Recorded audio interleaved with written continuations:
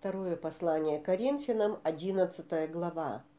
«О, если бы вы несколько были снисходительны к моему неразумию, но вы и снисходите ко мне, ибо я ревную о вас ревностью Божиею, потому что я обручил вас единому мужу, чтобы представить Христу чистою девою.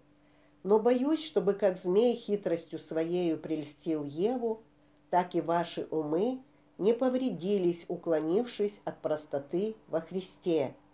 Ибо если бы кто, придя, начал проповедовать другого Иисуса, которого мы не проповедовали, или если бы вы получили иного духа, которого не получили, или иное благовестие, которого не принимали, то вы были бы очень снисходительны к тому. Но я думаю, что у меня ни в чем нет недостатка против высших апостолов, хотя я и невежда в слове, но не в познании. Впрочем, мы во всем совершенно известны вам. Согрешил ли я тем, что унижал себя, чтобы возвысить вас, потому что безмездно проповедовал вам Евангелие Божье? Другим церквам я причинял издержки, получая от них содержание для служения вам и, будучи у вас, хотя терпел недостаток, никому не докучал.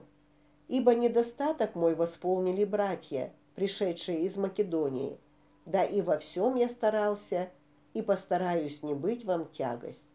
По истине Христовой во мне скажу, что похвала сия не отнимется у меня в странах Ахаии.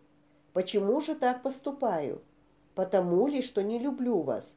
Богу известно – но как поступаю, так и буду поступать, чтобы не дать повода ищущим повода, дабы они, чем хвалятся, в том оказались, такими же, как и мы.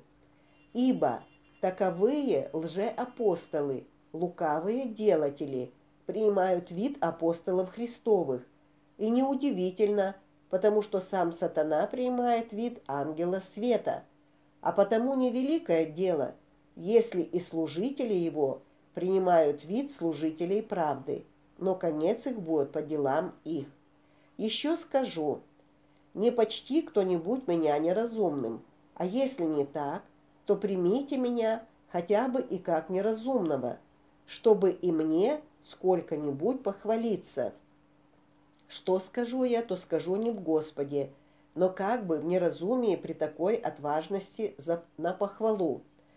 Как многие хвалятся по плоти, то и я буду хвалиться, ибо вы люди разумные, охотно терпите неразумных.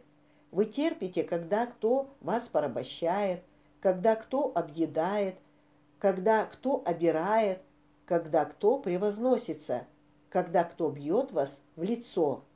К стыду говорю, что на это у нас не доставало сил. А если кто смеет хвалиться чем-либо, то скажу по неразумию, смею и я.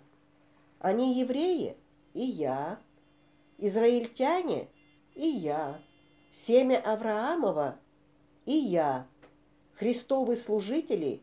В безумии, говорю. Я больше. Я гораздо более был в трудах, безмерно в ранах, более в темницах и многократно при смерти. От иудеев пять раз дано мне было по сорока ударов без одного – Три раза меня били палками, однажды камнями побивали. Три раза я терпел кораблекрушение, ночь и день пробыл во глубине морской.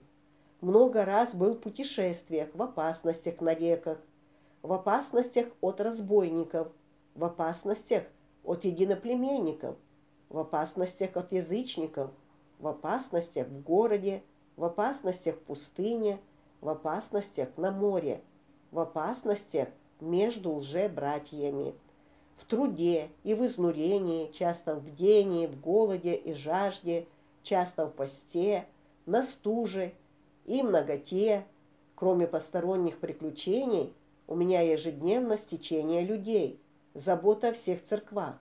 Кто изнемогает, с кем бы я не изнемогал, кто соблазняется, за кого бы и я не воспламенялся – если должно мне хвалиться, то буду хвалиться немощью моею.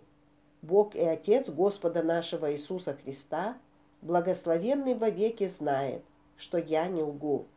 В Дамаске областной правитель царя Ареты стерег город Дамаск, чтобы схватить меня, и я в корзине был спущен из окна по стене и избежал его рук.